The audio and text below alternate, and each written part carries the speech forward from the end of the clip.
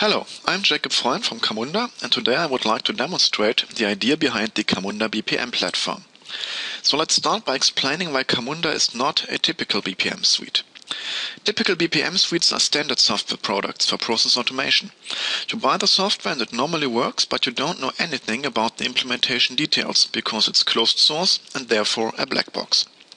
Now that's okay for typical end user tools like CRM systems. But a process engine is actually part of your IT infrastructure. It's not a tool, but a runtime component. So the trouble often starts when you try to integrate the black box BPM suite with your individual IT infrastructure. It's just a foreign object. The next issue concerns the people actually implementing your process applications. They're software developers and therefore used to common programming languages like Java, C Sharp or whatever. But now they have to learn the vendor-specific way of application development. This will take time and slows you down and your developers will forget what they have learned as soon as the process is implemented. Some BPM suite vendors claim that you won't need your developers anymore because now your business users can implement their processes themselves. Go, give it a try, but you will find out the hard way that this may work for prototyping and simple workflows, but not for real world process applications. So what's different about Camunda? Well, it's not a BPM suite, but a BPM framework implemented in Java and not only based on open source, but delivered including the source code. Because it's completely open, you can easily embed it in your technical infrastructure. And because it's all Java, your software developers can start implementing right away. Of course, here's also the catch. If you don't have any Java developers, you shouldn't use Camunda. But if you do, there's nothing better for process automation. Now you may wonder, okay, I see, but the B in BPM stands for business. So what about the business in your approach? This is where BPMN comes into the play.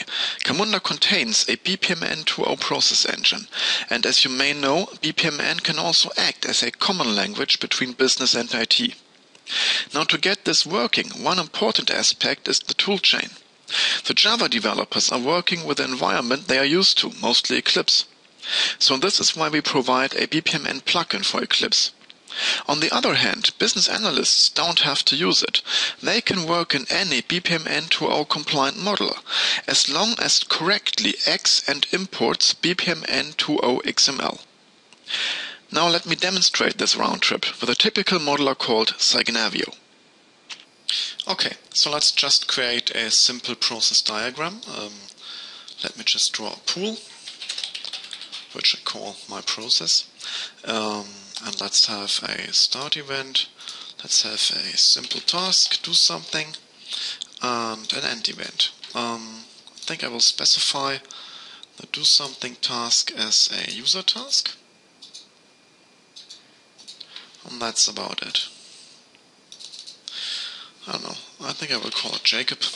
Um, so this is how um, I would, as a business analyst, create a BPMN diagram I can actually discuss with my business users and so on.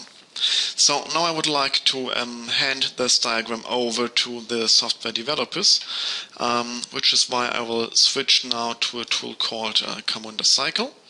And with Cycle I can actually create um, a round trip, which, I, which is also called Jacob. And we have two areas here. The left one is dedicated to um, my, my business modeler, and the, the right one is dedicated to the designer, which is actually the BPMN plugin for Eclipse. So I will now um, add uh, a process model to my round trip. That um, model is um, located in Signavio. Um, I'm now connecting to um, the Signavio as a service instance. Um, and I will just add the diagram I've just created here. And um, I will now create um, the BPMN2 XML um, for my for my software developers which is why I hit the create button here. And I can now choose a connector. I will just choose the local file system for this demo. Um, normally uh, we also have subversion connectors things like that. And I will create that BPMN2.0 file in my workspace, in my Eclipse project, in the sources folder. Okay, so that just happened. Of course, um, the two of them are in sync right now. Um, I will switch to my Eclipse and refresh. And here we are. So I can open that BPMN2.0 file in um, my Eclipse plugin right now. So this is my environment I'm used to as a Java developer. Um, well, I could now um, enhance, of course, my diagram. I could, uh, for instance, um, I don't know, let's let's name an assignee. So it's Kermit who will actually um, complete that task, and there's a form called uh, something or whatever. So I will now um, enrich the process model with my um, execution attributes. Uh, what I could also do is I could let's let's delete this here and let's add a service task.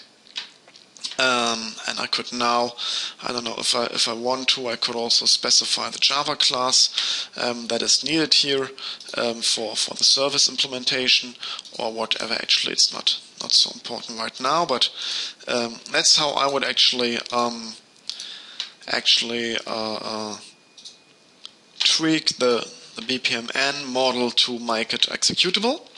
Um, now the interesting part is now to get that um, that adjusted model back into the environment of my business analyst. So um, right now we have only seen the forward engineering. We will now see the reverse engineering. I've just saved it.